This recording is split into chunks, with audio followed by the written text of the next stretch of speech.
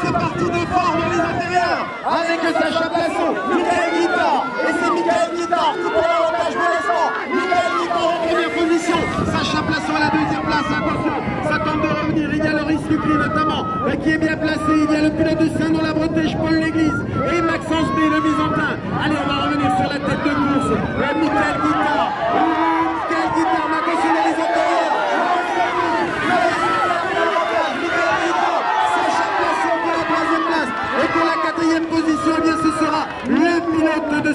Paul, Paul L'Église, devant Maxence B, le pilote de Besançon.